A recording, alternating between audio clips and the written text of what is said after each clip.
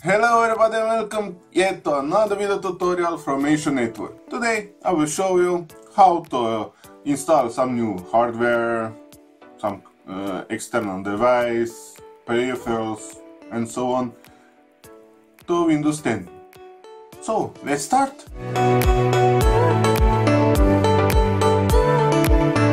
When you have computer hardware like motherboard or hard disk or simply some peripheral like printer, web camera, external hard disk drive and else, each device needs some kind of driver on whatever operating system you are. Driver is basically software which tells operating system how to use the device. Installing new drivers on Windows 10 is very easy for most devices. Just plug device into a computer and wait till installation finished. One option is that when you connect this device Windows automatically searches internet for newest version of the driver, but you can turn this option off or on. That you can do by opening control panel, selecting system, advanced system settings, hardware tab and button device installation settings. So if you want to update over the internet, click yes to use only drivers that are already installed on a computer on Windows, just click no. But I will click yes because I like when Windows automatically searches for new version of the drivers. Click save changes, ok and close. Devices that are already installed on a computer you can view by clicking start settings, go to devices, and you see all the devices that are connected to a computer. Uh, another version how to view devices, just go to control panel and click devices and printers. Yet another version uh, with more details about devices. Go to control panel, click device manager and you will see what hardware is installed on a computer. If you go view and device by container you will see devices like when you connect to another device you will see right here and so on. For example, I am connecting web camera and as you see web camera is started installing. And notification uh, shows you that. When it finished notification will show that Windows is finished installing this device driver.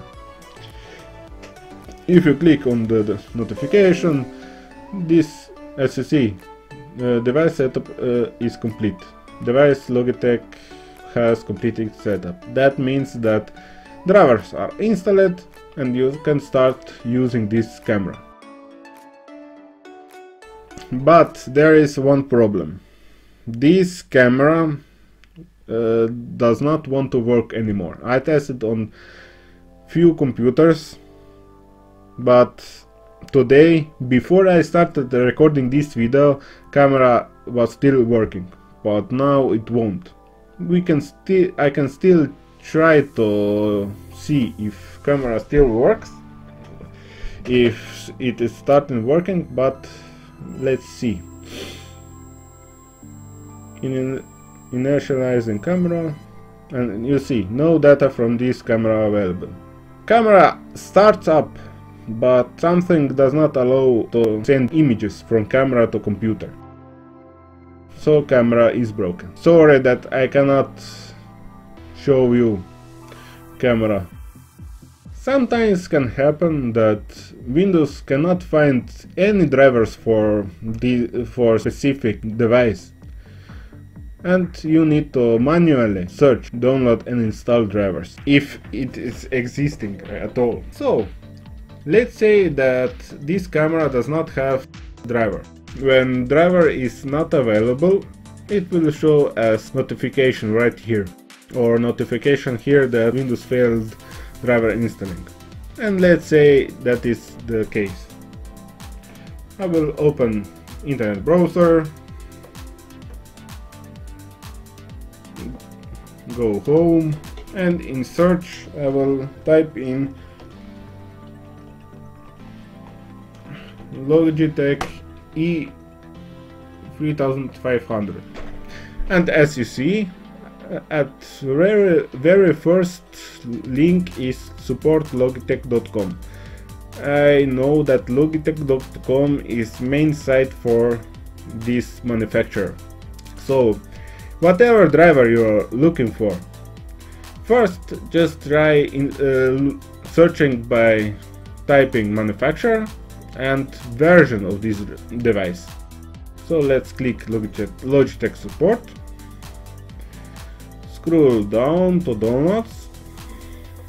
And under Windows select operating system. But sometimes, as here, older devices does not have newer drivers. So if you are installing drivers that are made for, let's say, Windows 7, 8 or Windows 8.1 on Windows 10 operating system, some drivers will still work and camera will be still working. But uh, Windows 7 is too old driver and older the driver is more problems you can have with the device. So many times i already have some devices that are not compatible with the latest version of windows let's say windows 10 and i tried to install windows 8.1 drivers. It was working for little time or it was not working at all.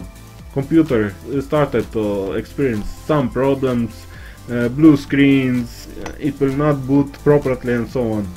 And I needed to manually remove this driver and computer st start working as it should. I will cover driver installing and problems more in depth in some future video.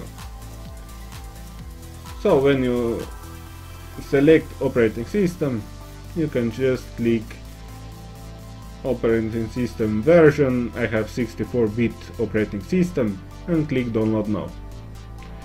Application will download and you can start installing it. Another device I would like to install is my printer, which is all-in-one, printer and scanner in one. This printer is wirelessly connected to my router and so any device that is installed on network can use this printer.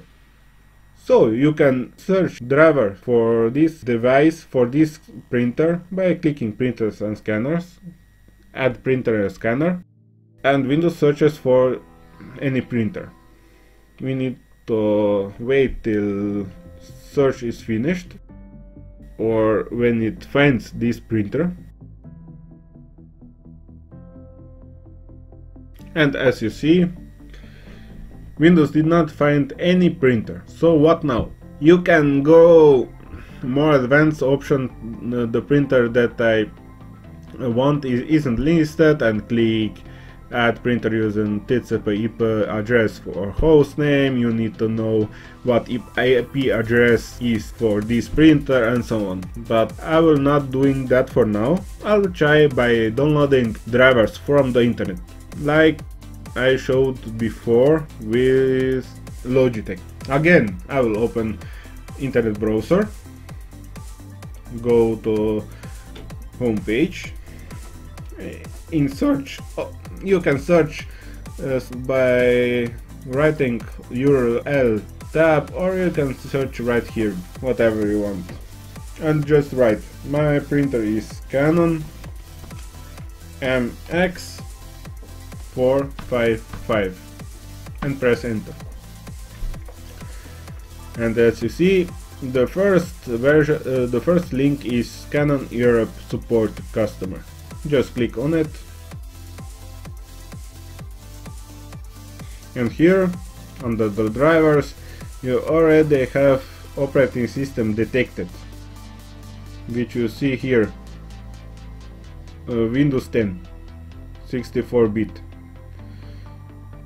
you can you just check what operating system you have if you want uh, some other operating system to download and what language of driver you want but I will leave English and here you have MX450 series MP drivers for Windows here you have what operating system supports. Here you have for XPS printer driver, but for I will download this first one. Just click download, click accept and download, and we need to wait till this driver downloads. You can click show all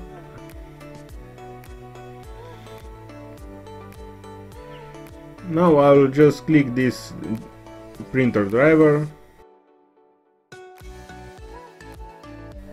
Now click next. Select region. Click next. Yes.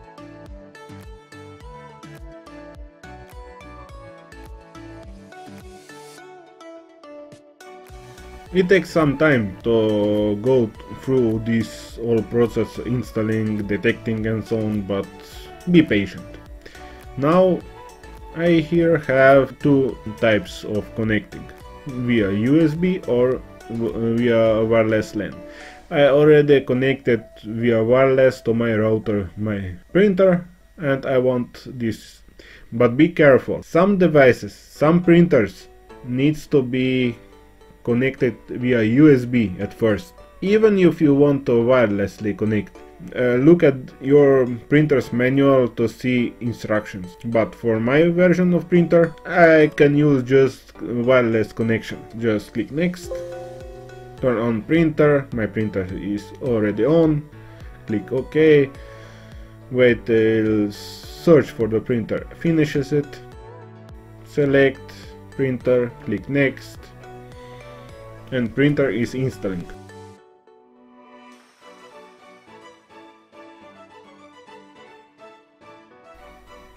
Click complete.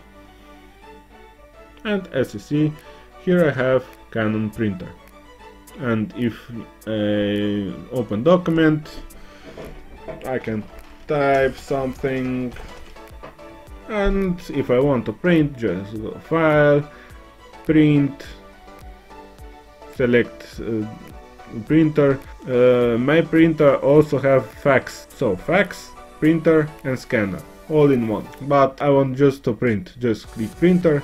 If you want to select additional preferences of this printer, just click preferences, select uh, if you want duplex printing, borderless, fast, and so on, whatever you want. Click OK and just click print. Uh, printer, start printing all is good. I'll click cancel because I do not want to print, close, uh, let's save. Another device that I want to show you is external hard disk drive, which is which I connected ri right now. As you see, AS2105, this is external hard disk drive and automatically will show select to choose what happens with remo removable devices. If no window opens like this one and you want this window to show up, just go to the control panel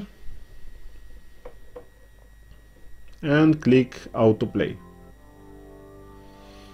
So here uh, if it is unchecked this window will not pop up. Select click save and that's it. Whatever external storage device you connect on a computer, like this external disk drive or USB flash key, all these devices gives you the same possibility to copy uh, some files, directories, to delete, rename and so on. So you can use these files and so on, just open your file manager and as you see here I have this external disk drive and you can rename and so on. In this video I covered basics of installing some new device hardware from software side but if you need any help, any help at all, just ask me, write a comment and I will answer the best of my ability. That was it for today. If you like the video, give thumbs up, comment the video of course, share this video with your friends, co-workers and so on. Let the world know. And subscribe to my channel for more videos. Only thing I want to say is have a nice day, have a great day, have a blast and see ya. Bye bye.